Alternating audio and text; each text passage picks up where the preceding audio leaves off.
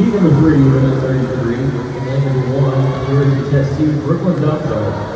Two from Alabama, Mila Del Mingo. Lane three from South Carolina, Mari Krause. And number four, Tennessee, Summer Smith. Lane five from UT, Bailey Stewart. And lane six from South Carolina, Bella Caldana. Lane number seven from the University of South Carolina, Emma Alexander. And lane eight from University of Virginia, Sophia Wilson.